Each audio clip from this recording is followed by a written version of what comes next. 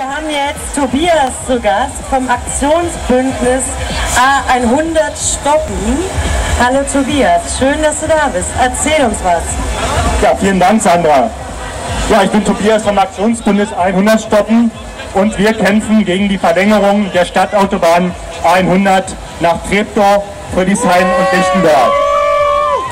Ihr werdet euch vielleicht fragen, was hat denn der Autobahnbau in Berlin mit dem Mietenwahnsinn zu tun?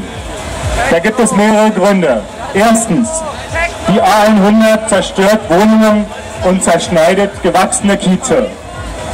Neben 300 Gärten, das sind über 12 Hektar Stadtnatur, wurden, wurden für die Verlängerung nach Treptow in der Beermannstraße zwei Häuser mit fünf Gebäuden abgerissen. Ohne unsere Klage vor dem Bundesverwaltungsgericht wären es doppelt so viele Häuser gewesen. Trotzdem mussten mehr als 100 Menschen ausziehen und vor allem mit Familien mit Kindern fanden in Berlin keine bezahlbare Wohnung mehr. Alteingesessene Mieterinnen und Mieter zahlen dort eine Kaltmiete von 4,20 Euro je Quadratmeter. Oder zahlten. Sollte die 100 weitergebaut werden, müssten noch deutlich mehr Menschen aus ihren Wohnungen verdrängt werden.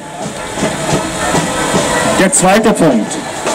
Armut und Verslammung durch A100. Das Topos-Institut hat die sozialen Auswirkungen von Stadtautobahnen wissenschaftlich untersucht.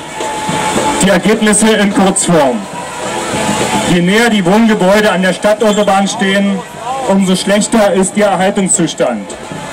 Außerdem fehlen in mehr als der Hälfte der Wohnungen Lärmschutzfenster. Trotzdem sind die Mieten auch direkt an der Stadtautobahn nicht besonders niedrig. Dafür ist dort die Arbeitslosigkeit fast doppelt so hoch wie in den Wohngebieten ohne Autobahn vor der Haustür. Die an der Stadtautobahn wohnenden Menschen, die nicht arbeitslos sind, haben deutlich geringere Einkommen bzw. geringere Renten. Und sie haben ein um fast 50 Prozent höheres Armutsrisiko. Und sie besitzen oft selbst kein Auto und können es sich nicht leisten, wegzuziehen. Wir protestieren aber nicht nur, sondern wir machen ganz konkrete Vorschläge zum, hier zum Thema Wohnen. Die für den Ausbau der Stadtautobahn 100 reservierten Flächen werden jahrzehntelang volkswirtschaftlich nicht sinnvoll genutzt. Das Land Berlin verzichtet dadurch jedes Jahr auf Einnahmen in Millionenhöhe. Nach Berechnungen des IOM-Instituts für urbane Mobilität kann man anstelle der Autobahn ca. 8.800 Wohnungen für bis zu 22.000 Menschen bauen.